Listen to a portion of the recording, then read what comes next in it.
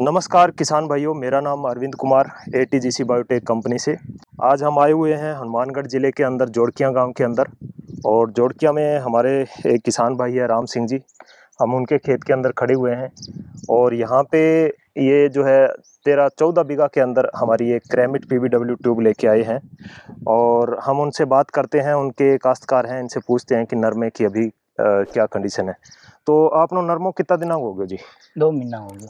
दो महीना की जाई होगी। तो अभी मैं सुंडी की क्या शिकायत लगे था ना सुंडी की शिकायत है। हाँ, और अभी इन प्लॉट में आपने कितना बीघा में ट्यूब लाग चुकी है? चार बीघा। चार बीघा में लागी। कितना दिन हो गया लगाई ने? दो दिन हो गया। दो दिन हो गया। नरमो आपने साठ पैंसठ दिन हुआ जी लगभग हाँ तो है ठीक है जी। तो किसान साथियों मेरा अभी जो आपको मेन वीडियो बनाने का मकसद ये है इस वीडियो को आप आगे से आगे शेयर भी ज़रूर कर देना। आपको मैं दिखाना चाहता हूँ ये इस फूल के अंदर सुंडी जो है वो आप देख सकते हैं। बिल्कुल बारीक है, ये एल थ्री स्टेज की सुंडी है। यानी इसकी उम्र अभी तक लगभग लगभग आप मान के चलिए सात से आठ दिन की या छः दिन की सुंडी है ये। ये एल फोर में कन्वर्ट होने वाली है। अभी इसका रंग जो है थोड़ा सा पीला और गुलाबी रंग में ये धीरे धीरे कन्वर्ट हो रही है।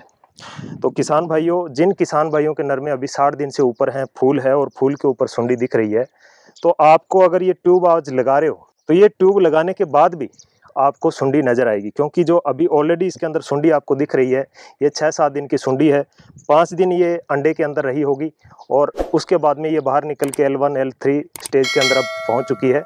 यानी अब तक इस सुंडी की उम्र जो है, वो लगभग लगभग अभी 10 से 12 दिन की हो चुकी है। यानी जो पतंगा है, पतंगे ने आज से 12 से 13 दिन पहले एगलिंग कर दी थी, उनसे अब जो है लार्वा निकल निकल के अपने फूलों के ऊपर दिख रहे हैं। तो अभी आप ये भी मान के चलें, अगर इसके अंदर सुंडी अपने को दिखाई दे रही है, किसान साथियों तो इसके अंदर अंडे भी होंगे। ट्यूब लगाने के बावजूद भी आने वाले दिनों के अंदर, हफ़्ते, दस दिन और पंद्रह दिन के अंदर अंदर, उन अंडों से सुंडी बाहर निकलेगी और आपके खेतों के अंदर आपको दिखेगी। उस वक्त आप थोड़े से, आप एक तरीके से मायूस भी होगे कि यार हमने ये क्रेमिट पीबीडब्ल्यू लगा भी दी, ट्यूब भी लगा दी, दस दिन हो गए, पंद्रह दिन हो गए, लेकिन हमें सुंडी दिख रही है। लेकिन किसान साथियों, मैं आपको बताना चाहूँगा, ये अंडे और सुंडी को नहीं मारती है। ये जो इनके एडल्ट होते हैं, पतंगे हैं, उनकी मैटिंग को रोकती है। मैटिंग को रोकेगी तो जिससे अंडे पैदा नहीं होते। लेकिन ये जो अभी खेत है, ये साठ पैंसठ दिन का खेत है, इसके अंदर ऑलरेडी अंडे और सुंडी है तो आने वाले दस पंद्रह दिनों में भी आपको सुंडी और अंडे दिखेंगे।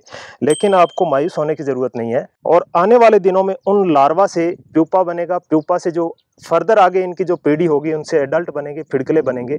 अगर अब आप इसका टाइम टू टाइम एप्लीकेशन कर रहे हो पीबीडब्ल्यू का क्रेमिट पीबीडब्ल्यू का तो ये फर्दर उनकी मेटिंग को डिसरप्ट कर देगी, उनके अंदर बाधा डालेगी, जिससे आगे आने वाली पीढ़ी जो है वो उत्पन्न नहीं हो पाएगी। और जिन किसान भाइयों के नर में अभी चालीस दिन, पैंतालीस दिन के हैं तो उनसे मेरा अनुरोध यही है कि आप इस ट्यूब का इस्तेमाल अभी शुरू कर दीजिए, क्योंकि जैसे ही फूल आने शुरू होंगे, फूल के ऊपर मादा पतंगा जो है वो अंडे देना शुरू कर देगा। अंडे देने के बाद उनमें से लार्वा निकलेंगे। अतः उससे पहले पहले अगर आप इस ट्यूब का इस्तेमाल करते हो तो मैटिंग को रोकने के अंदर ये आपकी बहुत सहायता करेगी। मैटिंग रुक जाती है तो आगे अंडे देने की जो प्रक्रिया है, वो रुक जाएगी। क्रेमिट पीबीडब्ल्यू का इस्तेमाल आप ज़रूर करें।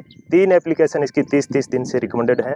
तो इसकी आप एप्लीकेशन टाइम टू टाइम करें। वैसे इसकी रिकमेंडेशन 40 से 45 दिन पे आप करते हो तो बहुत ही अच्छे परिणाम आपको मिलेंगे। धन्यवाद।